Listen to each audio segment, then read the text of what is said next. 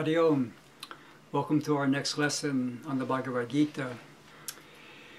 Let's start with our slow, deep breath. Inhaling, pause for a moment, and slowly emptying the lungs. Om Shanti, Shanti, Shanti. So this is episode 18.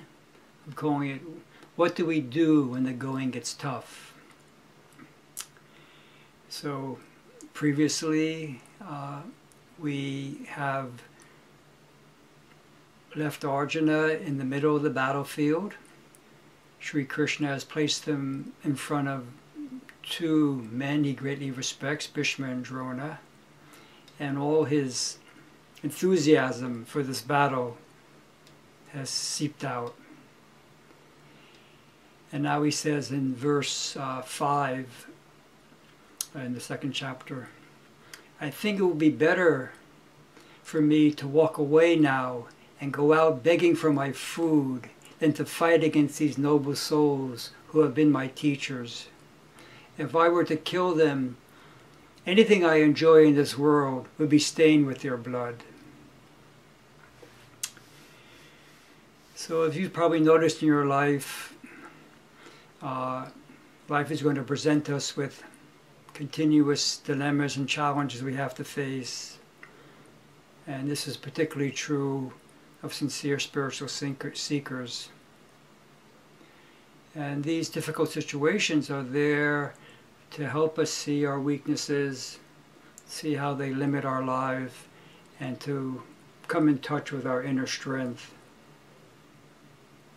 Arjuna is a great soul, but now he's facing with the, the biggest challenge of his life and maybe of all his lifetimes. And Sri Krishna has orchestrated this because he feels Arjuna is ready at this moment to face it. And I think that's how it works for all of us. But Arjuna doesn't feel that way. At first he was ready to engage in this fight, and then he says, no, he feels that to transcend everything he knows about himself, his whole personality now seems too arduous a task and he's not ready to for that he feels. And uh, he comes up with this idea that he could go out as a monk, become a sannyasin, a swami, walk away from this battle, and beg for his food. That's what it means. What, that's what he says when he says, begging for my food. And uh, what could be more spiritual than that? And isn't that bitter to eat whatever someone offers me from begging, even if it's stale bread, than to eat a feast that is sprinkled with the blood of all that is close to me. And yes, becoming a monk can be a noble thing, but not if it's running away when the going gets tough. And that's, that's really what's happening here. We can do our best to uh, make the ego feel safe, but it's always going to be an illusion it's innately fragile and vulnerable.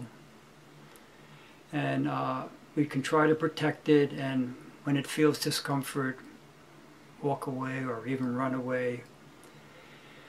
But I think we all have experienced that, that our karma is going to follow us, and eventually we're going to find ourselves in a similar set of situations. So let that be the lesson for today, and I hope to see you next week. Om Shanti, Shanti, Shanti.